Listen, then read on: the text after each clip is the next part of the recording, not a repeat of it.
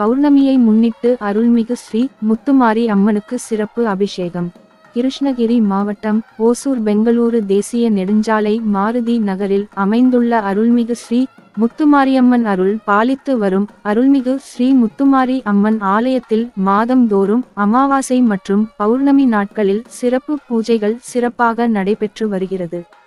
இந்நிலையில் ஐப்பசி பௌர்ணமியை முன்னிட்டு அருள்மிகு ஸ்ரீ முத்துமாரி அம்மனுக்கு எண்ணெய் காப்பு சாற்றி பால் தயிர் பஞ்சாமிர்தம் தேன் நெய் இளநீர் எலுமிச்சை சாறு திருமஞ்சள் மஞ்சள் சந்தனம் விபூதி குங்குமம் பன்னீர் உள்ளிட்ட வாசனை திரவியங்களால் அபிஷேகம் நடைபெற்றது.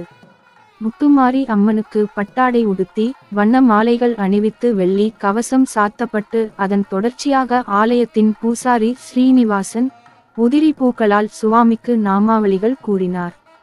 அம்மனுக்கு பல்வேறு ஆர்த்திகள் காட்டப்பட்டு தீபாராதனை நடைபெற்றது. அருள்மிகு ஸ்ரீ முத்துமாரி அம்மன் ஆலயத்தில் நடைபெற்ற ஐப்பசி மாத பௌர்ணமி பூஜையின் நிகழ்ச்சியை காண ஏராளமான ஆன்மீக பக்தர்கள் பொதுமக்கள் ஆண்கள் பெண்கள் என ஆலயம் வருகை தந்து சுவாமி தரிசனம் செய்து வழிபட்டனர். இதனைத் தொடர்ந்து ஆலய நிர்வாகிகள் சார்பில் தலைவர் ஆர். ரங்கண்ணா பாபு தலைமையில் அன்னதான நிகழ்ச்சி. செயலாளர் ராஜி பொருளாளர் இராமநாதன் ஆகியோர் அன்று மதியம் பன்னிரண்டு மணியளவில் சிறப்பு பௌர்ணமி அன்னதான நிகழ்ச்சியை தொடங்கி வைத்தனர். மேலும் இந்நிகழ்ச்சியில் கோவில் விழா கமிட்டி உறுப்பினர்கள் M. Mani V.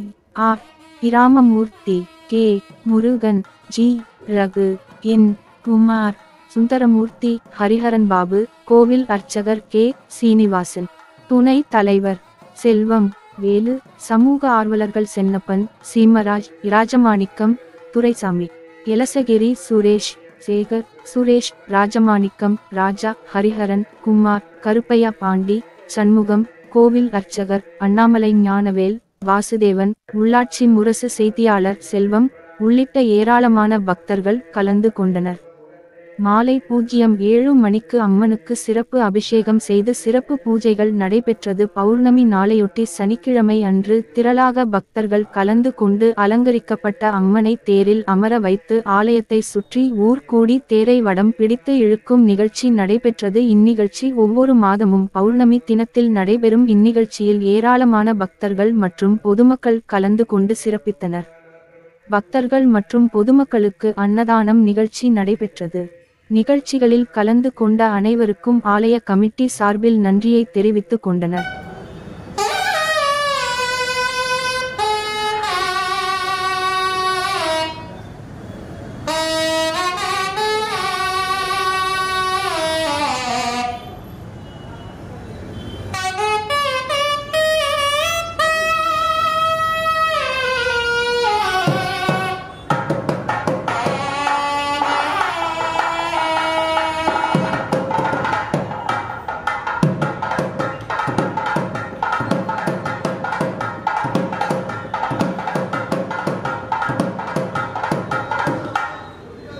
ஓம்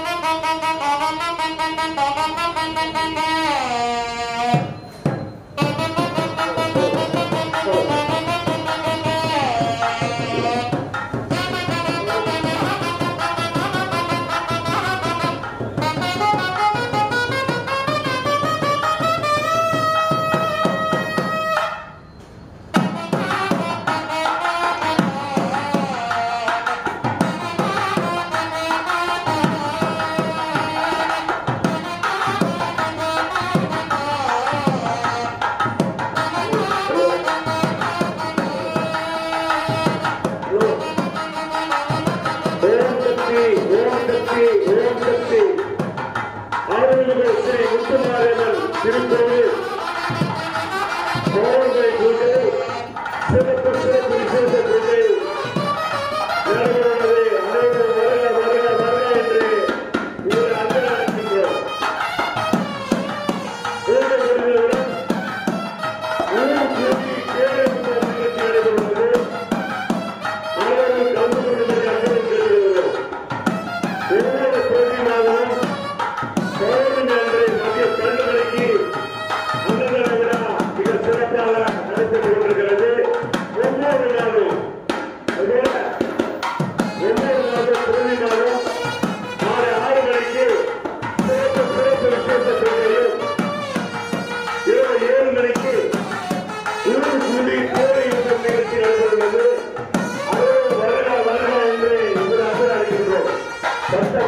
Obrigado,